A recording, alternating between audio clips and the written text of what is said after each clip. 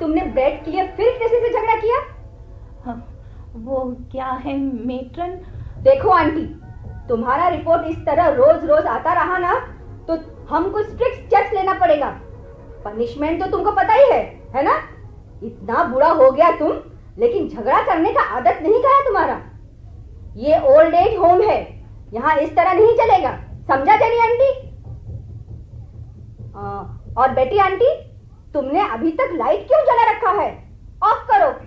ये बुढ़ा लोग हो तो रात रात भर नींद नहीं आता लेकिन हमारा जवानी इन बुढ़ियों के बीच ही चौपट होगा बार बार आंटी बोलने की ज़रूरत ही क्या है? हम्म। मेट्रन की उम्र देखो। मुझसे कितनी छोटी है। आंटी बोलती है तो आंटी वाला रिस्पेक्ट भी तो देना चाहिए। ये किससे बातें कर रही हो, जेनी? यहाँ कौन है सुनने वाला?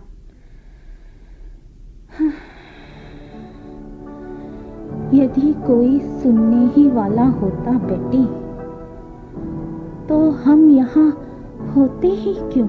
ठीक ही कह रही हो। अरे, जब अपनों ने ही हमें धिक्कार दिया। तो इन पढ़ाइयों की क्या बात? इनकी शिकायत क्यों और किससे?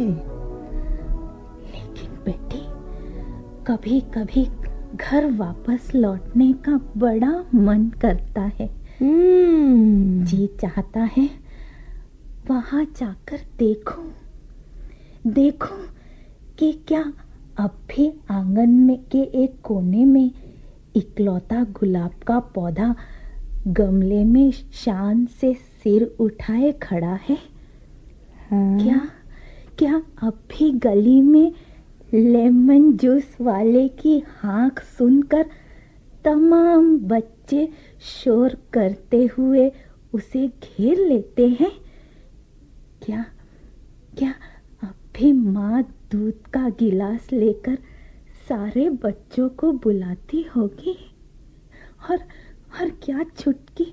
अब भी दूध न पीने के सौ सौ बहाने करती होगी। जेनी, मन तो मेरा भी घर लौट चलने के लिए मचलता है। इस बुढ़ापे में यहाँ रहना तो बड़ा कष्टकर हो गया है बेटी।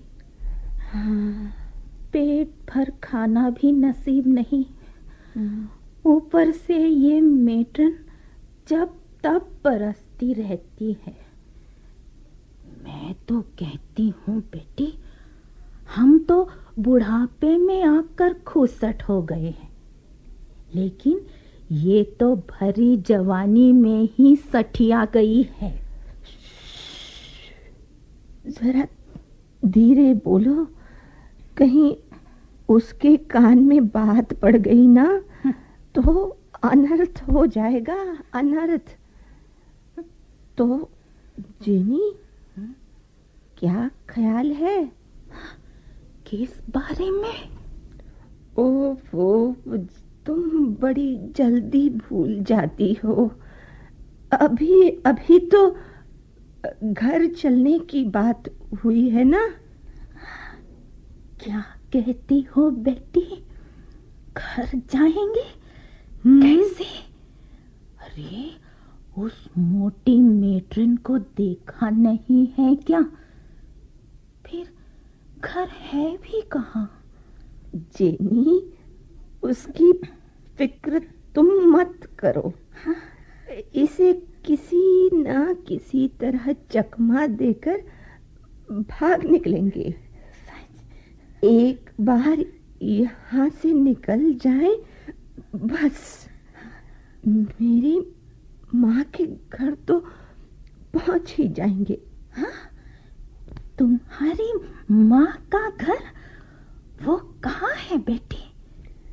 है ना, एक छोटी सी पहाड़ी पर पीले पीले रंग का घर। बेटी हम तो यहाँ बहुत दिनों से है ना। हम्म। तुम्हें कुछ अंदाज है कब से?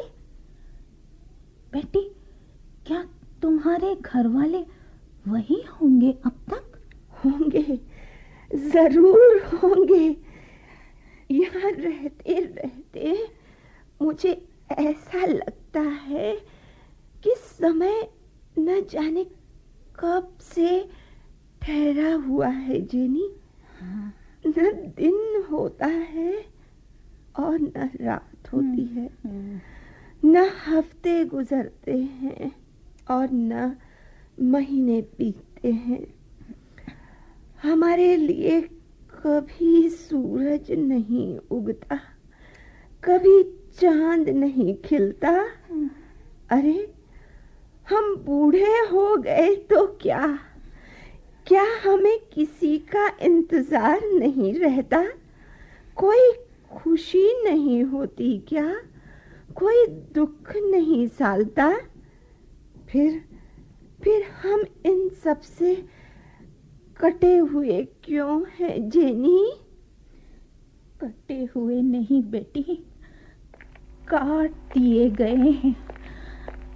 और आ, लगता है मेट्रन अपना दूसरा राउंड लगा रही है। लाइट ऑफ़ करके बिस्तर में घुस जाए, वरना फिर कुछ सुनना पड़ जाएगा। ठीक है बेटी। गुड नाइट गुड नाइट चीनी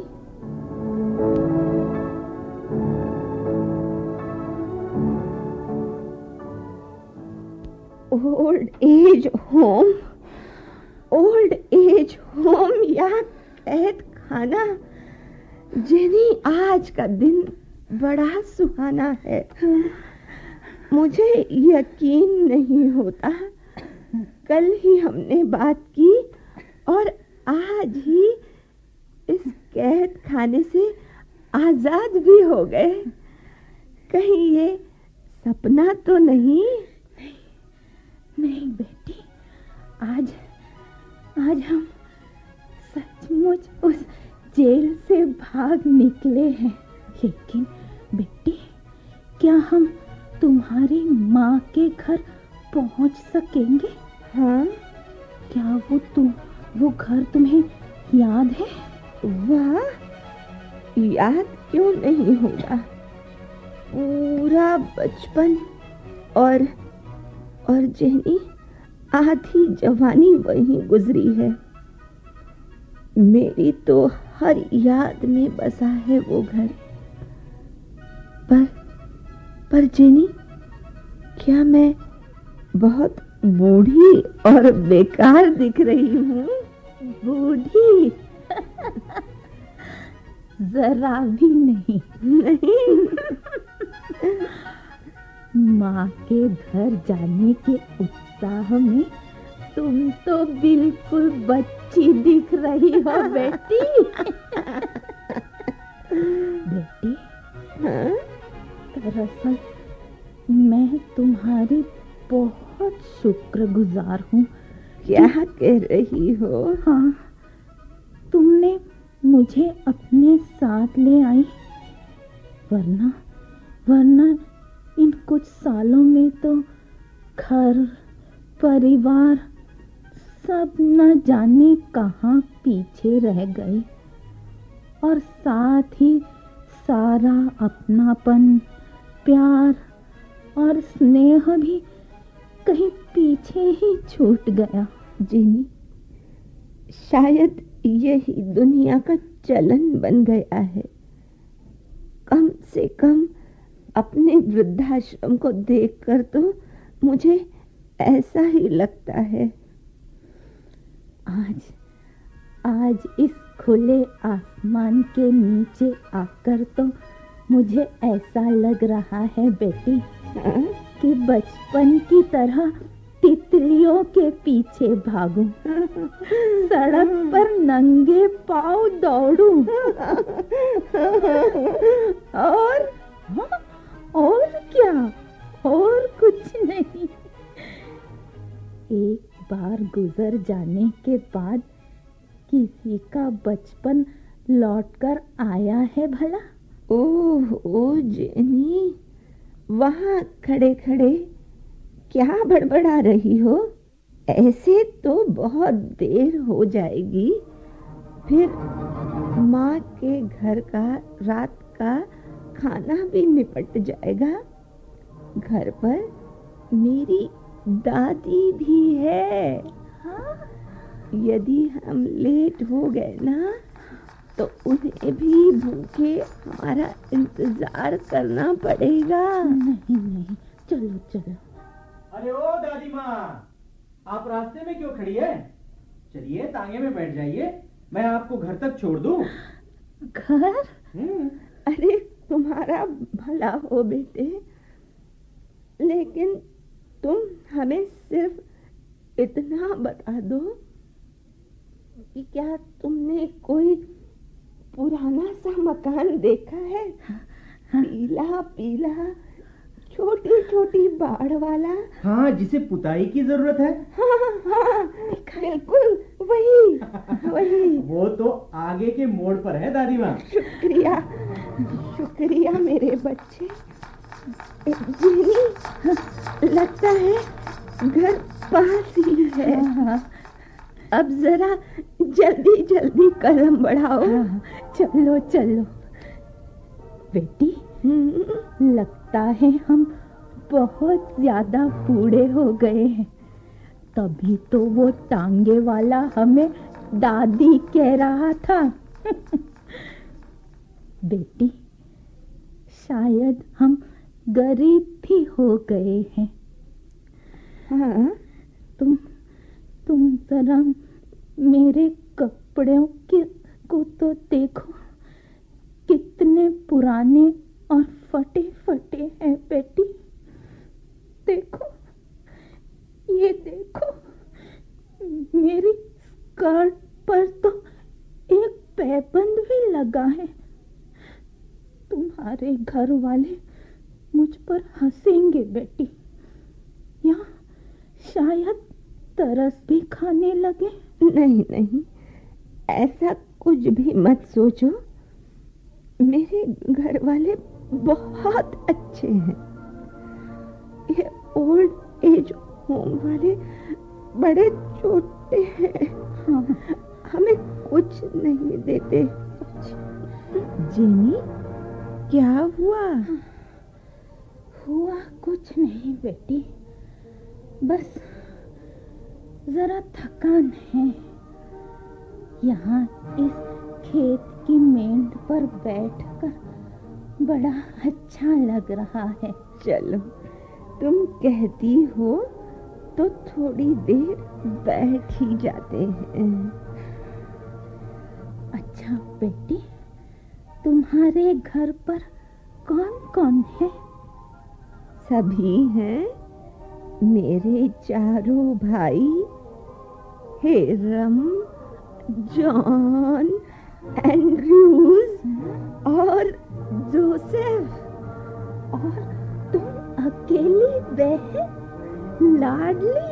हाँ हाँ चारों तो मुझे अपनी हथेली पर रखते थे। मुझे दीदी माँ का दर्जा देते थे। सच बेटी। हाँ माँ का दर्जा। फिर जब समय बीता भाभियाँ आ गईं। हाँ। जाने क्यों? जाने कैसे मन में गांठें पड़ने लगी? और फिर जाने दो बेटी। और फिर रहने दो। समय का यही चलन है है ना?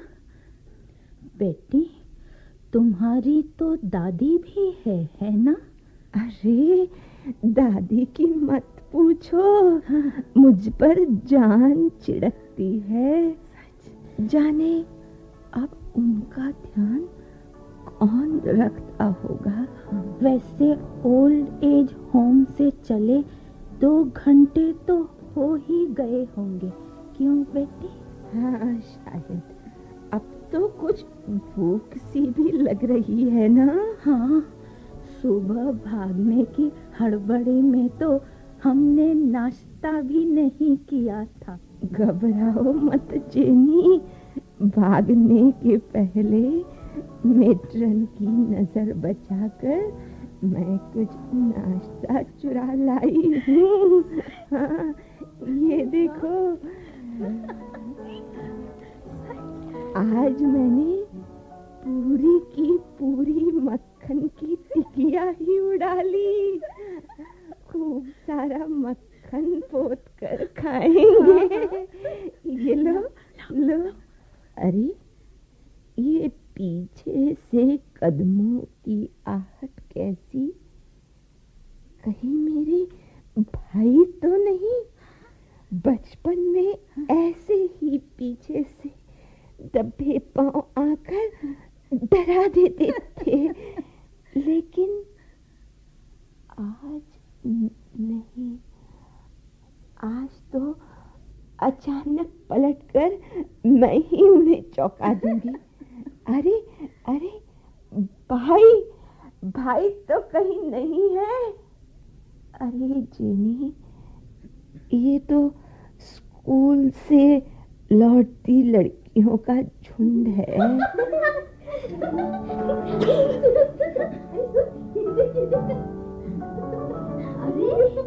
लोग कितनी बुरी औरतें अरे औरतें नहीं हमारी तरह सहेलियाँ। चेहरा तो देखो सिर्फ़ झुर्रियाँ हैं। दो सफ़ेद मूर्तियों जैसी। ओ लड़कियों जरा सुनो। सुनो तुम बता सकती हो मेरा घर? आपका घर? हाँ वो पीला सा घर वही घर जिसे पुताई की ज़रूरत है। अच्छा वो घर? वो तो वो रहा बस आपके सामने है। अरे हाँ शुक्रिया बच्चियों शुक्रिया। जल्दी करो जेनी घर आ गया है तो क्या खाना बंद कर दूँ? अच्छा बाबा नाराज़ मत हो। लो घर तो आ गया पर घर के सामने ये बच्चे कौन खेल रहे हैं। इन्हीं से पूछूँ। सुनो सुनो। अरे जरा सुनो तो। तुम किसके बच्चे हो? अपनी माँ के। अच्छा अच्छा। नाम क्या है तुम्हारा? मेरा नाम रूथ है। हाँ? ये छोटी बहन है कोलोरिन। और हम दोनों बहनों क्या एक ही भाई है? ये बूढ़ी। बड़े प्यारे नाम है। जरा अपनी माँ को बुलाओ। बच्चों किससे बात कर रहे हो तुम लोग? ये दोनों बूढ़ी औरतें कौन हैं? कितनी बूढ़ी है? कितनी जर्जर बेचारी। अरे तुम जॉन कहाँ है? क्यों? हम डिनर के समय से पहुँच गए ना? क्या करें बोलो? ओल्ड ओल्ड एज होम से घर का फासला भी तो कितना ज़्यादा है। है ना? पर अपने घर की याद तुम लोगों का प्यार खींच लाया।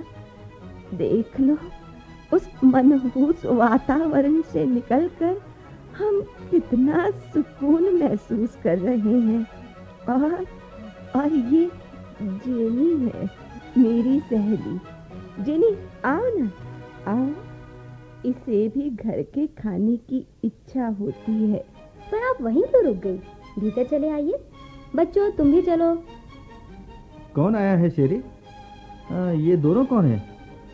और तुमने इन अजनबियों को अंदर क्यों बुला लिया? ओ रिची तुम जरा इधर आओ अंदर। बेचारी कितनी बूढ़ी औरतें हैं। इस उम्र में प्यार और अपनेपन की तलाश में इधर उधर भटक आई हैं। पर शेरी है तो अनजान। तो क्या हुआ? जरा सा स्नेह ही तो बांटना चाहती हैं हमारे साथ। हमारा कुछ ले तो नहीं रही। पर जरा सोचो तो कपड़ों से बातों से लगता है कभी ये भी अच्छे घर की रही होंगी। इनके पास भी यौवन का बसंत होगा प्रशंसा भरी निगाहें होंगी दोस्त होंगे नाते रिश्ते होंगे और आज आज कुछ भी नहीं। जितना कभी पाया होगा उससे भी ज़्यादा गंवा चुकी हैं शायद। अपनों से निष्कासित अपने से भी आधी उम्र के लोगों द्वारा अपमानित कैसा लगता होगा इन्हें। रिजेक्ट या तिरस्कृत होने की अनुभूति कितनी गहरी सालती होगी इन्हें। नहीं नहीं इन्हें और आहत करने को ना कहो मुझसे। मुझसे नहीं होगा। अच्छा बाबा जैसा चाहो करो पर आँखें तो ना डबडबाओ अरे भाई क्या करने लगी? कहीं डिनर तो नहीं बना रही बेटी? मेरे लिए जरा चिकन बना देना। मैं तो उसका स्वाद ही भूल गई हूँ। जी हाँ बिल्कुल। मैं आपके लिए चिकन ही बना रही थी। और आप क्या लेंगी जेनी आंटी? मैं लूँगी सैंडविच। खूब सारा बटर लगाकर क्रीम बिस्किट्स और पेस्ट्री। ठीक है मैं आपका डिनर तैयार करती हूँ। तब तक आप लोग फ्रेश हो लें। रूथ कोलोरिन तुम जरा मेरी अलमारी से इन दोनों के लिए कपड़े निकाल दो और चेंज करने में इनकी मदद करो। मुझसे तो इनकी ये तड़प देखी नहीं जाती। मैं चलती हूँ किचन में। बुढ़ी आज खाने की मेज पर दो कुर्सियाँ और लगा देना। सब लोग चलो। सब लोग चलो। खाना लग गया है। खाना लग गया है? सब आ भी गए। लेकिन दादी क्यों नहीं आई? दादी माँ बाद में आएगी। वो अपनी प्रेयर के बाद खाना खाती हैं। अच्छा जो सबसे बड़ा है आज उसे ही सबसे पहले खाना परोसा जाएगा। बताइए जेनी आंटी किसे पहले परोसूं बेटा बड़ी तो मैं ही हूँ। मैं सत्तासी साल की हूँ। और ये बेटी बेटी तुम मैं तो हाँ ये बेटी तो अभी सिर्फ़ बयालीस की ही है। तो ठीक है जेनी आंटी आपसे ही शुरू करते हैं। ये पूरा खाना हमारे लिए ही है। जी हाँ आप अपनी पसंद की जो चीज़ जितनी चाहते हैं जी भर कर खाइए। मम्मी मम्मी देखो जेनी आंटी क्या कर रही है? अरे रिची हम्म, जरा नज़रें बचाकर चुपके से देखो तो। जेनी आंटी चोरी चोरी अपनी स्कर्ट की पॉकेट में बिस्किट और पेस्ट्री भर रही हैं। ए तुम दोनों क्या कुसुर पुसुर कर रहे हो और हँसी क्यों आ रही है? वो नहीं ऐसा कुछ नहीं बेटी आंटी। हम जरा जेनी आंटी के बारे में बातें कर रहे थे। हाँ मेरे बारे में? क्या? अरे कुछ नहीं। आप खड़ी क्यों हो गई? आराम से बैठकर खाइए। और हाँ मैंने आप दोनों के लिए आपकी पसंद की ढेर सारी चीज़ें पैक भी कर दी हैं। आप उन्हें अपने साथ लेते जाइएगा। जब जी में आए खाइएगा। मैं अभी रसोई से आपका सारा पैक खाना लेकर आती हूँ। मैं भी जरा शेरी की मदद करता हूँ। रूथ कोलोरिन तुम जरा इनके खाने का ध्यान रखना। हमें यूँ हंसना नहीं चाहिए था उनके सामने। शायद जेनी आंटी को समझ में आ गया कि हमने उन्हें पेस्ट्री चुराते पकड़ लिया है। बेचारी कैसे हड़बड़ा गई थी? क्या बात है? तुम कुछ बोलते क्यों नहीं? अरे ऐसे क्यों देख रहे हो मुझे? ए क्या हुआ? शेरी तुम बहुत अच्छी हो। अच्छा ये तुम्हें आज पता चला? नहीं सच जेनी और बेटी हमारी कौन है? कोई भी नहीं। लेकिन इन अजनबियों की भावनाओं का भी तुमने कैसा सम्मान किया? जो इनके अपने थे, उन्होंने तो इन्हें ओल्ड एज होम में डाल दिया था। लेकिन तुम तो इनकी कोई नहीं, फिर भी। रिची, बातें जाने अनजाने की नहीं है। बात तो दरअसल इंसानी जज्बात की है। तुम खुद देख रहे हो। इनके दिल में असुरक्षा की भावना कितनी गहरी धसी हुई है। अपनी पसंद का भोजन खा लेने के बाद उसे चुरा कर भविष्य में जमा कर लेने की ये चाहत। जानते हो रिची मुझे ये दुख नहीं होता कि इस उम्र में वे ऐसी हरकत कर रही हैं। मुझे ये दुख होता है कि हमारी पीढ़ी ने इन्हें इस उम्र में ऐसी हरकत करने के लिए मजबूर कर दिया है। तुम इतना सोचती हो शेरी और मैं तो समझता था कि तुम एक मामूली सी घरेलू औरत हो। अच्छा तो क्या घरेलू औरतें सोच नहीं सकती? उन्हें क्या भावनाएँ छूती नहीं? नहीं नहीं मेरा मतलब ये था कि मैं मूर्ख हूँ। जी नहीं मैं मूर्ख हूँ। जो आपसे बहस करने चला। अरे बच्चों क्या करने लगे हो तुम दोनों? बस अभी आई। आपके लिए गरम गरम कॉफ़ी लेकर आई। इतना स्वादिष्ट खाना। हाँ। बेटी तुम्हारे हाथ से तो अमृत बरसता है। ईश्वर तुम्हें लंबी आयु दे। मुझे तो याद भी नहीं इतनी टेस्टी कॉफ़ी मैंने आखिरी बार कब पी थी? मुझे तो नींद सी आ रही है पर वापस भी तो जाना है। क्यों बेटी? हाँ पर क्या वहाँ पहुँचने पर हेड मेट्रन हमें डांटेंगी? बिल्कुल नहीं मेरे पति आपको वहाँ छोड़ आएँगे।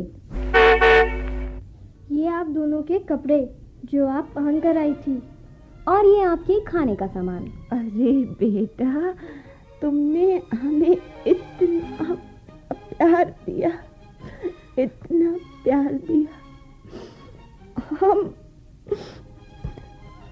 हम इतने प्यार के बदले हम तुम्हें तुम्हारे पति और बच्चों को तो कुछ भी नहीं दे सकते। कुछ है भी तो नहीं हमारे पास। आपके आशीर्वाद और आपकी गाल पर बहते हुए खुशी के इन आंसुओं ने मुझे सब कुछ दे दिया। जाइए रिची कार में आपका इंतज़ार कर रही है। अच्छा अच्छा। अलविदा। अलविदा मेरे बच्चों। अलविदा।